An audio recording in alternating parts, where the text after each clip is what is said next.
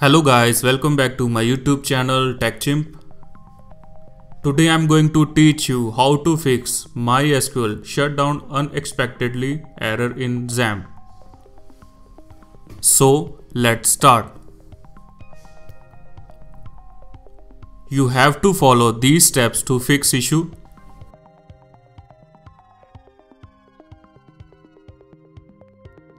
The first step is to rename MySQL data folder to data underscore old. Let's go to XAMPP folder and open MySQL folder and rename data folder to data underscore old.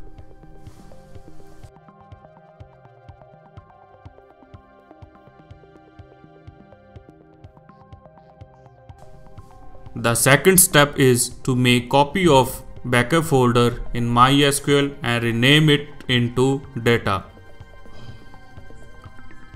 Now again go to XAMPP MySQL folder and make copy of this backup folder and rename it as data.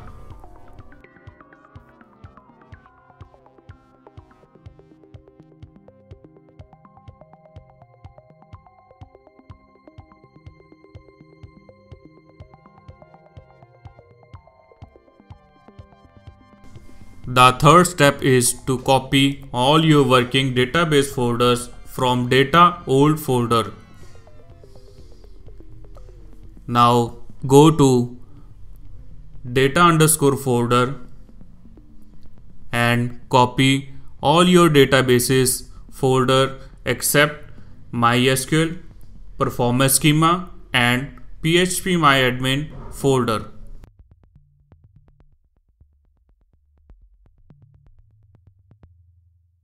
Paste these folders into data folder.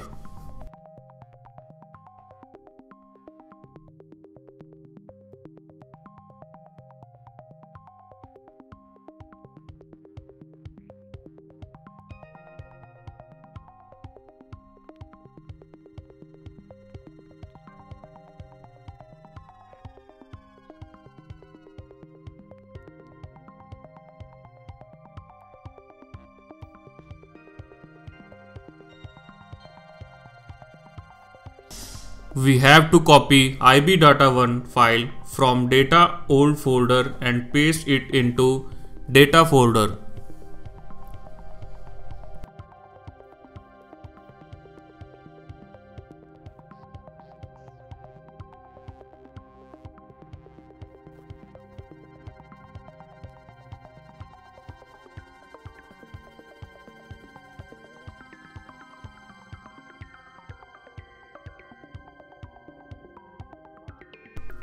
Now restart XAMPP control panel.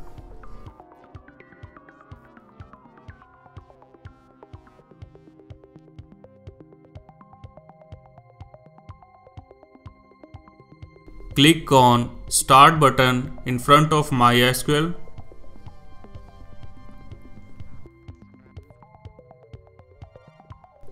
You can see our XAMPP MySQL started and working fine.